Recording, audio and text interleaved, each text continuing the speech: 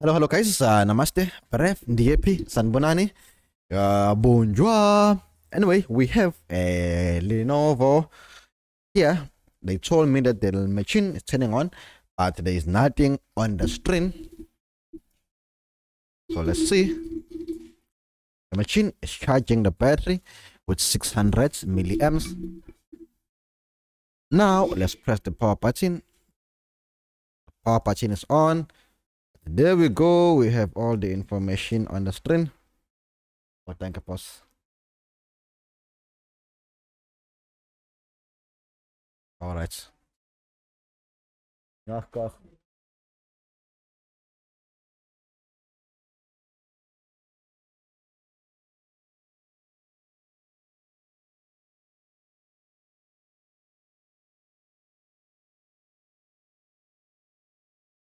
Okay. The screen is turned on, but there's no information. So I believe this is the operating system issue. Alright guys, so what I'll do normally, I'll check if the caps lock is turning on. The caps lock is turning on and then turning off. Okay, step number two. You'll take an HDMI cable. Let's use an HDMI cable to see whether the issue it's on the internal screen or what? Okay let's check here. Alright guys you can see uh the screen is blank nothing. I've connected an hdmi cable. Maybe let's try to project it. Uh let me go back.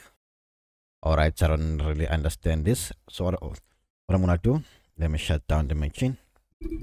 Completely off. Let me turn it on again. Let's check here. The machine is not turning on. The problem is the caps lock is turning on which shows tells me that the machine is booting up but why why why why why there is nothing on the screen hmm. Guys i haven't seen such a problem. This is very strange. Uh but let's try. Okay. It can go to can go to bios okay i think i can see what is going on here. The issue here uh the system the system is corrupted.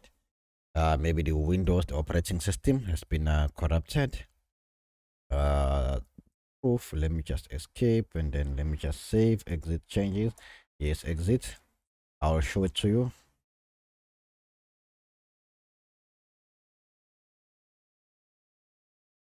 this is where it's supposed to load an operating system. But it doesn't want to go through. But the fact that the caps lock is turning on it means the machine working 100 percent. Let's go to bios again by pressing the f2 key. You see we can go through the both options. EUFI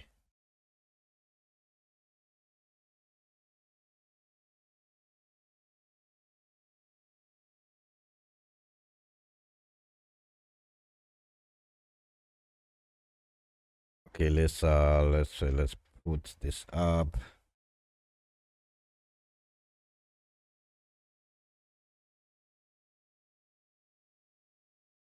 Try one more time.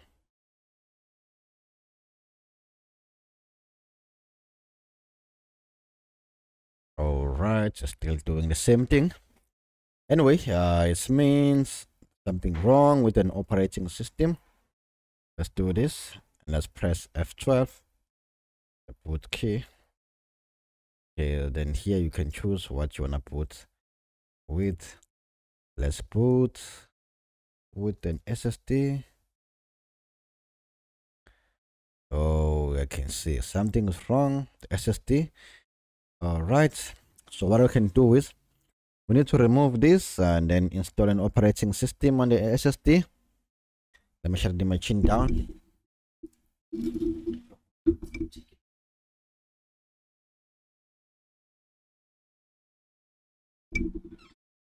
all right guys so what you what, what you're gonna do?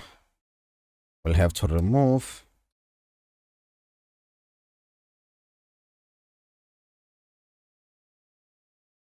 yeah i think here maybe the operating system went corrupt which is correct but i think it's happened because maybe the machine was um, fully loaded maybe there is no space on an ssd and see this machine is running with two drives. There's a hard drive and there's an ssd there's a possibility that the ssd is fully loaded. That's why there is that's why the machine is can't boot into into windows. That's my own opinion. That's what i think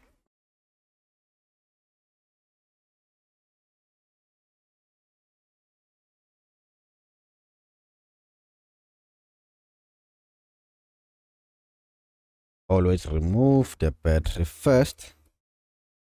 Start removing the battery.